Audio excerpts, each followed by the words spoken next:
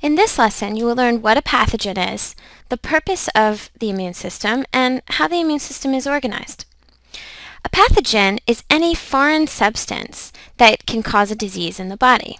So anything that can cause a disease. The purpose of the immune system is to defend the body against pathogens. So we'll put defense. Um, and the immune system is made up of white blood cells, sometimes called leukocytes, bone marrow, the thymus, and other organs and ducts of the lymphatic system. And these include lymph nodes, tonsils, uh, bone marrow, um, and other ducts. So there are two types of immunity.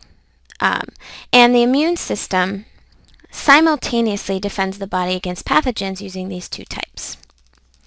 First is called nonspecific immunity. Nonspecific immunity helps to slow the prog progress of disease or prevent it altogether.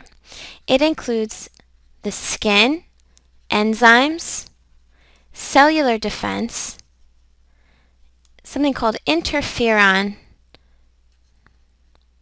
and the inflammatory response. The uh, specific immunity, on the other hand, is a second line of defense. So we'll put primary and secondary. And this involves the lymphatic system. The lymphatic system works with lymphocytes, which are a type of white blood cell, lymph nodes, and the spleen to destroy pathogens and filter blood and lymph. You can check out more details on nonspecific and specific immunity and the differences between passive and active immunity to learn more about how we battle the pathogen.